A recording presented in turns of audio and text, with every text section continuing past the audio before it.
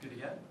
Uh, Foz, you were called a fossil last time you were in here. Now you're another year older. Happy birthday. What a way to celebrate. Yeah, it was yeah special win. Um, yeah, we just want to keep rolling with um, the sort of form that we have been. Uh, I, don't, I don't think we were at our best tonight by, by any means, but um, it was an important two points.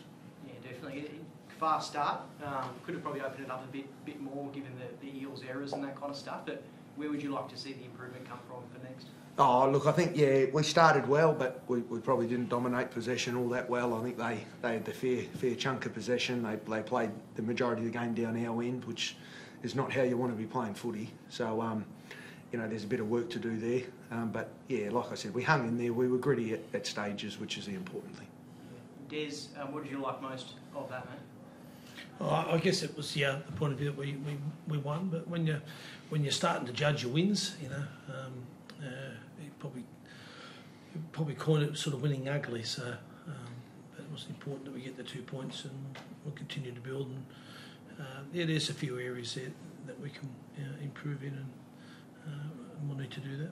Yeah, looked precise in attack, pretty pretty sharp, but that cohesion in defence, particularly tonight, um, looked pretty organised. Looked like the understanding of the players and the system was was really there. How, what kind of growth have you kind of seen in the side, particularly over the last kind of kind of month or so in that area?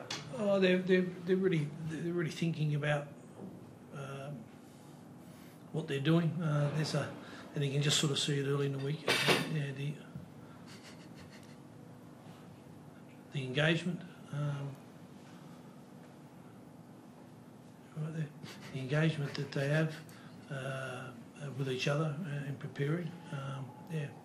Is that defensive understanding? Is that what's going to be ultimately the thing that changes this team into a, a premiership contender? Do you think? Um, uh, we- we're evolving, so we- we're getting there.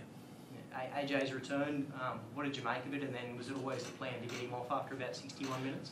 Yeah, it was uh, a. Um, he's always a threat. Uh, he brings uh, uh, another dimension as you as you would, um, but we just need to make sure that we're, we're, we're capitalising on that. So we've got some areas that we need to tighten up, and uh, we'll do that before we line up again on the on the Sunday. Yeah. Have a good evening. Bye Just one last one. No, hurry up.